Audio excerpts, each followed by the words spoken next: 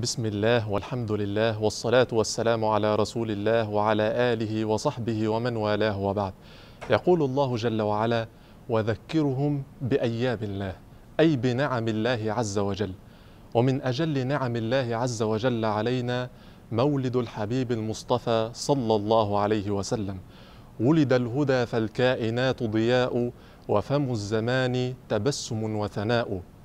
في ليلة مولده صلى الله عليه وسلم رأت أمه نورا خرج منها أضاء لها قصور الشام فمولده نور وبعثته نور للبشرية بأسرها نور أفاض على الحياة رحيما وبكفه فاض السلام عميما لم تشهد الدنيا عظيما مثله صلوا عليه وسلموا تسليما. صلى الله عليه وسلم والسؤال الذي يطرح نفسه كيف نحتفل بذكرى المولد الشريف؟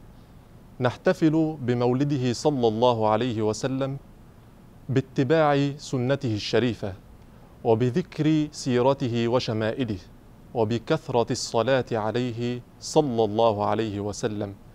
يا بائعا في أرض طيبة عنبرا بجوار أحمد لا تبيع العنبرا. إن الصلاة على النبي وآله يجدو بها من شاء أن يتعطر. صلوا على خير البرية تغنم. عشرا يصليها المليك الأعظم.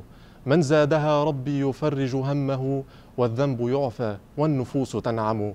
بأبي وأمي أنت يا خير الورى. وصلاة ربي والسلام معطرا. يا خاتم الرسل الكرام محمد بالوحي والقرآن كنت مطهرا. صلى الله عليه وسلم.